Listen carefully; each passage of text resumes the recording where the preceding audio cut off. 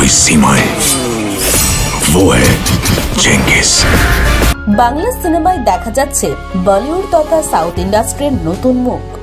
বাংলা সিনেমায় যে বাংলার বাইরে নিজেদের ছায়া ফেলতে পারে, সেটি কিছু বাংলা সিনেমা আগেই প্রমাণ করেছে। বাংলা সিনেমা যে একটু ভালো স্ক্রিপ্টের একটু বেশি বাজেট নিয়ে চললে, এই ইন্ডাস্ট্রি যে ভালো মুভি বানাতে পারে, তার প্রমাণ আবারও একবার দিয়েছে। সদ্য মুক্তি পাওয়া ছবি চেঙ্গিসের টিজার। যেটিতে অভিনেতা জিৎ মূল ভূমিকায় রয়েছেন। এই চেঙ্গিস মুভিতে রয়েছে একাধিক মেম্বার্স যারা শুধু বাংলা সিনেমা না, বলিউড এবং সাউথ ইন্ডাস্ট্রিতেও কাজ করেছে। এই ছবির গল্প লিখেছে নীরাজ পাণ্ডে যিনি একাধারে গল্প, লেখক এবং প্রযোজক।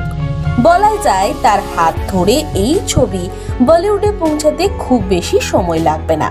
এই ছবির প্রডিউসার রাজেশ গাঙ্গুলি, যার সম্বন্ধে আপনি রয়্যাল বেঙ্গল টাইগার দেখলেই জানতে পারবেন। এই সিনেমার বিজিএম যিনি বানিয়েছেন আনবু সালভান, তিনি সত্যিই প্রশংসার যোগ্য এছাড়াও সিনেমায় স্টান্টম্যান হিসেবে যিনি কাজ করছেন, তিনি শুধু বাংলা ছবি না বরং দক্ষিণী সিনেমার অনেক বড় বড় সুপারস্টারের সাথে কাজ করেছেন।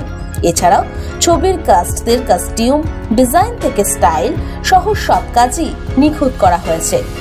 ছবিতে যেহেতু কস্টিউম অনেকটাই ইম্প্যাক্ট ফেলে, সেই জায়গায় শবরী চক্রবর্তী খুব সুন্দর ভূমিকা দিয়েছে। ছবিতে জিতের স্টাইলকে ডিজাইন করেছে রোহান।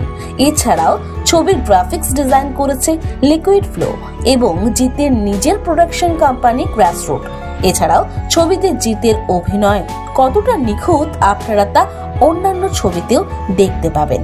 এই ছিল জিতের চেঙ্গিস মুভির বিষয়ে কিছু তথ্য। আর হ্যাঁ আপনারা যদি আমাদের ফেসবুক পেজে নতুন হয়ে থাকেন তাহলে আমাদের এই পেজটিকে ফলো করে দেবেন। আর যদি ইউটিউবে দেখে থাকেন, তাহলে চ্যানেলটি সাবস্ক্রাইব করে বেল আইকন অল করে দেবেন।